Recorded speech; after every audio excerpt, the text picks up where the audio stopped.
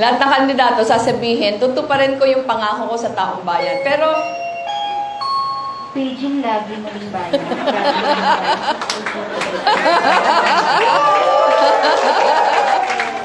Ate, palagay ha. Okay?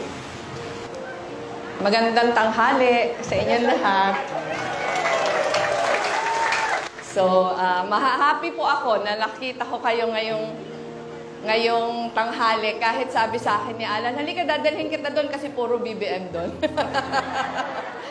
Pero okay lang, okay lang po.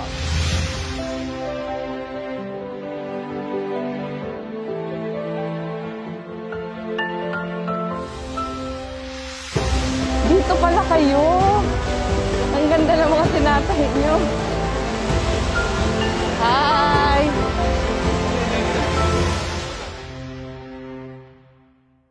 Tawagin natin ang unang magtatanong, si Miss Mary Jane Mercado. Mary Jane Mercado. Jane, halika. BBM supporter to, ma'am. Jane, ha, masasabi ko lang sa'yo. Ah, di ba? At naka-Lenny mask ka na. Wag naman. Wa- Wag, wag mong bukuhin. Hi, Jane. Ma'am, bakit po ano, gusto niyo pong maging presidente kahit nababalita po namin na lubog sa utang yung Pilipinas? Oh, maraming dahilan. Yung bakit dito, maraming pwedeng baguhin. Siguro napapansin nyo naman ito, bawat eleksyon, maraming nangangako. Pero parang hindi nababago yung takbo. Yung paniniwala ko, ang pinapakinggan kasi yung dati ng mga nakakaangat. Um, sa trabaho ko, nakaan kasalamuha ko talaga yung mga magsasaka, mangingisda, mga mga manggagawa. Ang paniniwala ko, pag sila yung unang inasikaso, iiba yung takbo natin. Um, halimbawa na lang, ah, pag sinabi nating tulong sa mga magsasaka, tutulungan yung mga magsasaka, pero bibigyan ng, yung agrarian reform, bibigyan ng lupa, pero hanggang doon na lang yung tulong. Pero wala naman tulong sa pagbaba ng presyo ng abono, pagbaba ng ah, mga inputs, so hindi din nakakaangat. Pag sinabing tulong sa trabaho, totoo may trabaho, pero uh, nahihirapan yung manggagawa na yung pang-araw-araw dahil hindi naman yun inaasikaso. So sa akin, kung ang nakaupo, nakakasalamuha pang araw-araw, yung mga nasa baba, mas magiging maayos yung mga programa. So, so para sa akin, yun yung aking, yun yung nagtutulak sa akin na dahil mahaba yung panahon na talagang nasa communities ako, mas ramdam ko kung ano yung pangangailangan. Ma'am, good morning po. Morning. Paano ninyo po kami makukumbinsi na ibotong presidente sa darating na halalan? Ako alam mo, ang pakiusap ko, hindi ko kayo kukumbinsin ngayon. Mahirap na magdidesisyon kayo dahil lang nakausap ko kayo. Ah, mas mabuti na magdidesisyon kayo pag napag-aralan nyo kung sino talaga kami. So, halimbawa, pag sinabi kong mahal ko yung mahihirap, huwag ka munang ma- ma- maniwala doon. Pero pag sinabing mahal ko yung mahihirap, anong klase ba yung pagbuhay ko? Kasi kung pagbuhay ko marangya, paano ko mararamdaman yung hirap ng mahihirap? Halimbawa, kayo mga manggagawa, di ba? Pag sinabi namin na para kami sa mga manggagawa, halimbawa ako, naging member ako ng kongreso, ano yung pruweba ko na mahal ko kayo? Tingnan niyo yung mga final namin na batas. Kasi kung yung final namin ng batas, kinakampihan lang yung dati ng malalaki, paano namin sasabihin na mahal namin kayo? ba? So, so sa akin yun yung pakiusap ko na wag nating sasayangin yung pagkakataon na pumili kung sino makakabuti sa atin. Hindi nyo masasabing mabuti kami o masamang tao sa isang tinginan lang eh. Masasabi nyo kung mabuti o masama kaming tao sa mahabang panahon ng panunungkulan namin. Ang tatanong ko lang po, kung sakali po kayo mananalo na maging pangulo ng bansa natin, paano po ninyo mabibigyan ng trabaho yung mga nangangailangan ng trabaho, lalo na walang mga pinag-aralan, hindi nakapagtapos? Paano mapapadali ang proseso nito? Ah, pinakasentro po ng programa namin trabaho. In fact, meron na po kaming nilabas yung hanap buhay para sa lahat program. Ah, nakasaad na doon yung pasunod-sunod. Pero dahil mahaba yon, bibigyan ko lang kayo ng example. Paano magkakaroon ng maraming trabaho dito sa atin? Magkakaroon ng maraming trabaho kung yung mga negosyante may tiwala sa gobyerno. Kasi kung ang, ang negosyante may tiwala sa gobyerno, mag invest sila sa atin. Pag mag-invest sila sa atin, gusto sabihin nun, maraming trabaho yon. Um, pangalawa, obligasyon ng pamahalaan na hinahanda yung mga tao sa klase ng trabaho na available.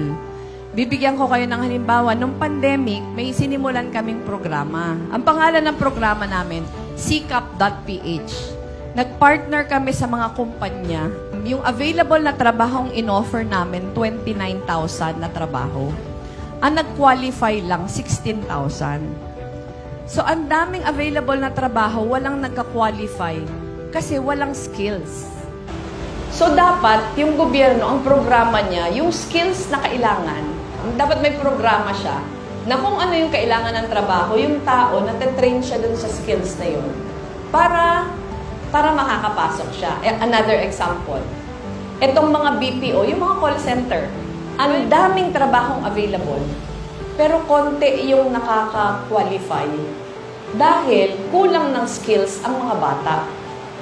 So dapat ang gobyerno, ang inaasikaso niya, sisiguraduhin niya na meron siyang training whether sa eskwelahan o out of school youth na natatrain niya na yung kinakailangan na skills um, available. Kasi paminsan ang dami naman trabahong available dahil wala tayong skills. Doon tayo sa mga trabaho na mababa yung sahod. Dahil yun yung skills na available sa atin. Pero kung Halimbawa, meron tayong available na makakapag-training tayo na hindi naman magbabayad ng extra, pero madadagdagan yung kaalaman natin. Baka ngayon sumasahod tayo ng 10,000, pero dahil may skills na tayo, kaya nating sumahod ng 20,000 a month. So, yun yung makapat mapapaloob dun sa public employment program na gagawin natin. Ginagawa na namin yun ngayon sa Office of the Vice President. Pero pag binigyan tayo ng pagkakataon, lalong lalaki yung opportunity na makakapag-training tayo ng maraming tao.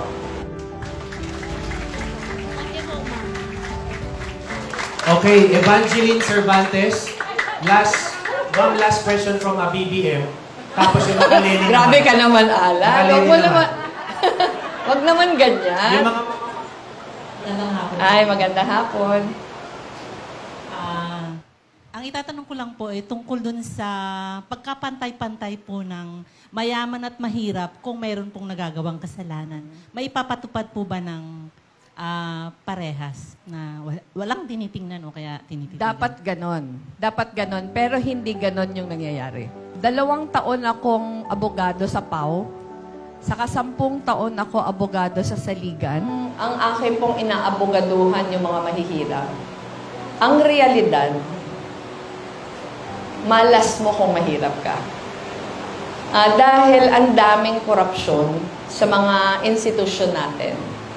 Mawawala yon pag nilinis natin yung mga institusyon. Paano natin lilinisin yung institusyon? Para sa akin, merong tatlong, tatlong ah, parang kailangan gawin. Yung number one, dapat yung pag-a-appoint ng mga kawani ng pamahalaan, dapat hindi political. Ah, gustong sabihin, dapat hindi kinikilingan kung kanino ba to kampe. Dapat, yung ina-appoint mo, kasi siya yung, siya yung qualified. Yung number two, kailangan transparent. Pag sinabing transparent, kung ano yung ginagawa ng pamahalaan, dapat alam natin lahat. Yung pangatlo, dapat meron tayong mekanismo, ang tawag namin doon, People's Council, na yung mekanismo na kahit hindi ka bahagi ng pamahalaan, merong mekanismo para nakakapag-participate ka. Gusto sabihin, kung ang topic na pinag-uusapan, apektado ka. Halimbawa, housing. Hindi ka naman kapitan, hindi ka naman mayor, pero interesado ka sa programa ng pamahalaan, dapat meron ka boses. So, ngayon, sa amin, sa Naga, ginagawa na namin yon. Meron kaming People's Council. Ah, pag, pag ginawa natin yon sa ibang lugar, mababawasan yung corruption. Okay, salamat sa BBM supporters. Ma'am, mga makaleni naman. Good afternoon po, ma'am. Halimbawa po manalo ka sa pagka-presidente, maasahan ba namin ang iyong pangako sa taong bayan? Ag- Again, ang sasabihin ko, Eva, lahat kasing kandidato sasabihin oo, di ba? Lahat ng kandidato sasabihin, tutuparin ko yung pangako ko sa taong bayan. Pero, Paging. Lovely Malimbayan.